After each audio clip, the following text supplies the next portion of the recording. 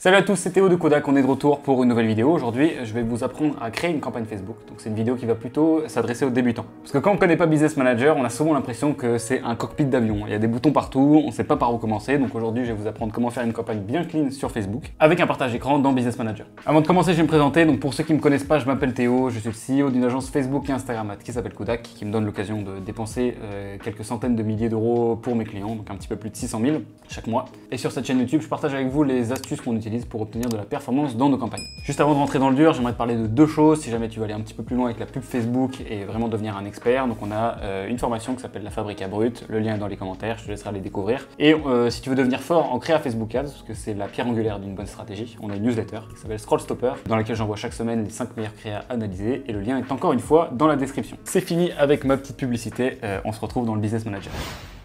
Alors ce qu'on a sous les yeux actuellement, c'est le tableau le plus important sur Facebook. C'est ce qu'on appelle le gestionnaire de publicité. donc pour vous y rendre, vous allez dans le menu sur la gauche et vous cliquez sur gestionnaire de publicité. Et euh, bon, ça va vous mettre exactement la même chose. Alors maintenant, pour créer une campagne, vous allez cliquer ici. Et ce qui va s'afficher sous vos yeux, ce sont tous les différents types de campagnes qu'il est possible de créer sur Facebook. Donc ils sont tous ici, ils sont rangés dans trois objectifs, donc sensibilisation, considération et conversion. Pour ce qui concerne le type d'achat, euh, ne touchez surtout pas à ça, restez sur les enchères. A priori, si vous avez une boutique e-commerce, euh, de toute façon, il n'y aura pas 1000 objectifs de campagne qui vont être pertinents pour vous et on veut que ça fonctionne aux enchères. Hein. On ne veut pas juste couvrir des gens et avoir de la répétition. Euh, nous, on veut des conversions. Alors c'est pas une vidéo sur les objectifs de campagne, mais ce qu'il faut retenir c'est que globalement ces deux premières colonnes, il va falloir quasiment pas les regarder. Euh, si vous faites des campagnes pour un e-commerce, hein, si vous faites de la génération de leads, euh, celui-ci peut être intéressant. Si vous faites de l'install d'app, celui-ci aussi. Mais principalement, on va se concentrer sur euh, cette colonne-là. Et en fait, il n'y a que deux types de campagnes qui sont intéressantes pour de l'e-commerce. Ce sont les campagnes de conversion et les campagnes vente catalogue. Dans cette vidéo, on va pas parler de ce type-là de campagne, des ventes catalogue qui sont un peu spécifiques. En fait, on va pas faire la publicité directement avec des pubs et des créas, mais on va y aller avec les produits. Donc ça fonctionne un petit peu différemment, on va pas en parler dans un premier temps parce que c'est mineur euh, et la majorité de vos campagnes vont être en conversion. Donc quand vous débutez sur Facebook, vous avez un produit, un site internet et vous voulez le vendre, il va falloir cliquer sur conversion. On va nommer la campagne, on va l'appeler euh, test, YouTube, on fait continuer. Alors ensuite, on va rentrer euh, dans le dur, donc dans le paramétrage de la campagne. Vous voyez qu'il y a trois niveaux. Ici le niveau campagne, donc c'est le nom qu'on vient de donner. Ensuite le niveau ensemble de publicité, qui est là où vous allez paramétrer votre audience et d'autres choses qu'on va voir ensemble.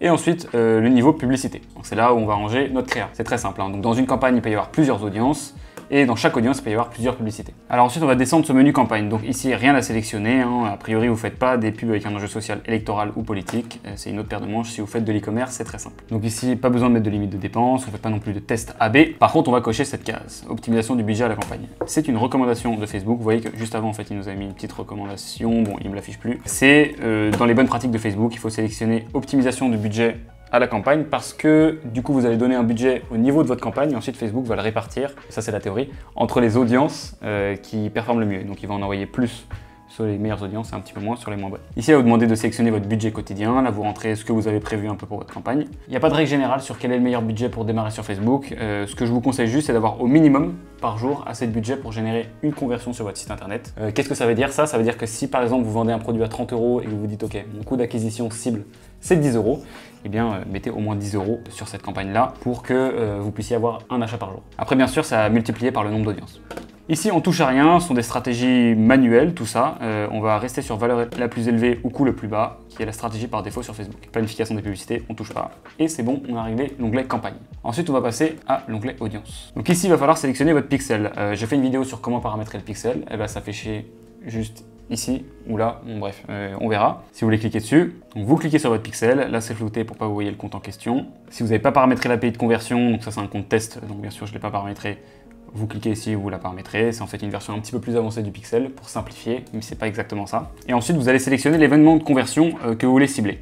Donc vous, sur votre site internet, vous voulez des achats. Et donc vous n'allez surtout pas sélectionner autre chose que des achats. Pas des ajouts au panier, pas des paiements initiés, on va être très simple, terre à terre, on veut des achats. On sélectionne pas contenu publicitaire dynamique, ça c'est une fonctionnalité un peu spécifique dont on va pas parler dans cette vidéo, qui permet de faire des, petites choses euh, un peu différentes au niveau euh, créa. On touche à rien, on touche à rien, et là ensuite il va falloir paramétrer votre audience. Alors sur les audiences, euh, je vais pas rentrer dans le détail ici parce que j'ai fait une vidéo sur tout ce qu'il faut savoir quand on paramètre son audience Facebook Ads. Elle va encore une fois s'afficher quelque part dans cette vidéo, je sais toujours pas si c'est à gauche ou à droite. Et donc ici on va choisir à qui on va montrer notre pub. Donc on va prendre un truc assez classique, hein, euh, ici pour l'exemple. Donc là, on va sélectionner tennis, hop, intérêt tennis, par exemple. On laisse cocher cette case. Je passe pas plus longuement sur euh, cet onglet-là parce que c'est pas le cœur de la vidéo. Touche à rien ici, on laisse en placement automatique. Euh, optimisation des diffusions de publicité à la conversion. Touche pas le contrôle du coût. Dans le menu plus d'options avec le paramètre d'attribution, ne touchez pas, ça sert à rien pour l'instant. Et donc notre adset, on va l'appeler tennis, parce qu'on sait les gens qui font du tennis. Et on va à l'onglet publicité. Donc ici, ce qu'on va sélectionner, c'est d'abord notre page Facebook. Vous allez sélectionner la page en question, c'est flouté, vous voyez pas. Le compte Instagram, même chose. Vous cochez pas la case euh, contenu de marque, ça sert à rien. Donc là, j'ai des petites erreurs, vous inquiétez pas, il y en a régulièrement dans Business Manager, c'est pas affolant. Dit que j'ai pas vérifié mon domaine, etc. La vérification du domaine, ça fait partie de ce qui est nécessaire pour l'API de conversion. C'est pas le sujet, peut-être que je ferai une vidéo sur le sujet, mais vous pourrez trouver de la doc euh, sur YouTube. Et ensuite, vous allez faire créer une publicité. Donc là, vous sélectionnez votre format de publicité. On va prendre un truc très simple, nos images. On va faire ajouter du contenu multimédia, ajouter une image. Et donc, j'ai sélectionné une publicité. Ensuite, il va falloir rentrer votre texte. Test. Tac, tac, tac, tac, tac. Votre titre. Bla, bla la description. Donc là, vous voyez que le texte, ça fait référence à ça, la headline, c'est ça, et la description, c'est ce qui est juste en dessous, c'est les DDD que j'ai rentrés. Vous mettez l'URL de votre site web pour la redirection, pas besoin de changer plus de choses.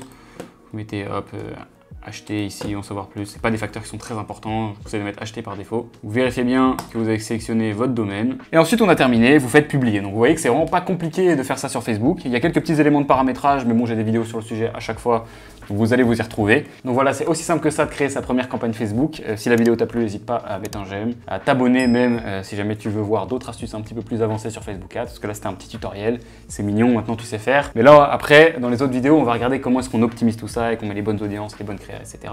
Bon, j'en ai plein sur ma chaîne YouTube, tu peux tout te taper pour avoir les astuces. Moi, je te fais plein de bisous, je te donne rendez-vous dans une prochaine vidéo sur Facebook Ads. Ciao